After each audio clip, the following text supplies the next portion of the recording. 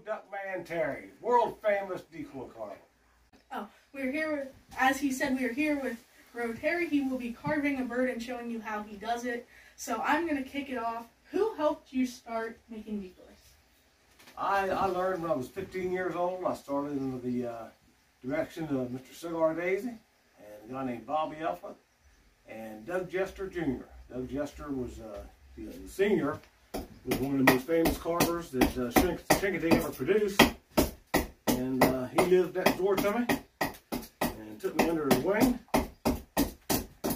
And uh, pretty much 53 years later, the rest is history.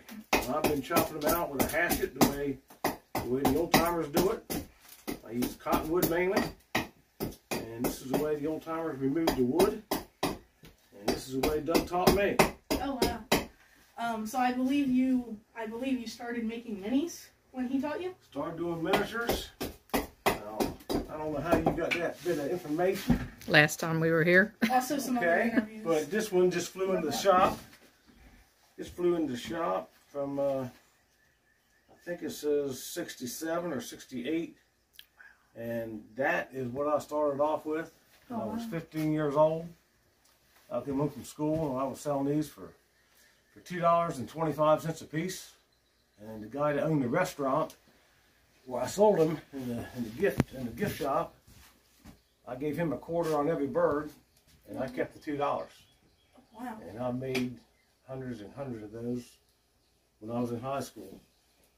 And that just the guy just brought that in the other day, and he said, "You want to, you want this bird back?" I found it some shop, so I bought it back from him.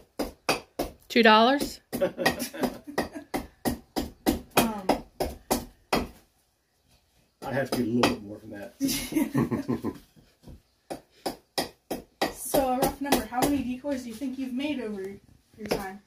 You know, bud, I've got, uh, I started keeping track uh, to see how many I could make in a year when I, I came out of the Navy in 75. And I went to work for the government tracking weather satellites at NOAA for about four and a half, five years. And then I quit and uh, wanted to come out here and carve for a living, so I had to show the wife I could make money doing this. So I wrote every bird down that I did for the next nine and a half years. Oh wow.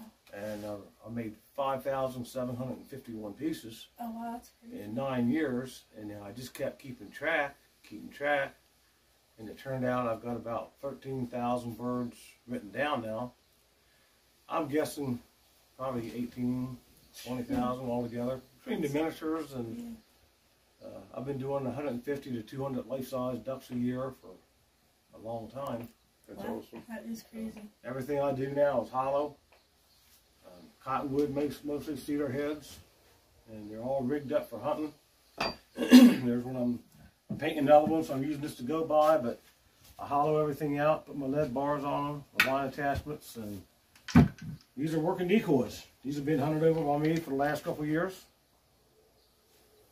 And uh, it's just, uh, it's nice hunting over young birds. I can imagine. Because I was wondering what those look like. And then all of those behind you are all my working decoys. You take them.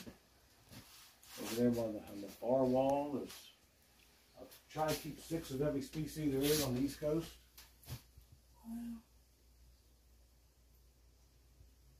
Uh, wh- while they're looking at that, any other information you would like to share? about the decoys? Try to get more people involved in this, young people especially. Get them off the damn cell phones and the games and put a knife in their hand and a block of wood and let them become an artist. Yeah. A dying trade. Dying art. Very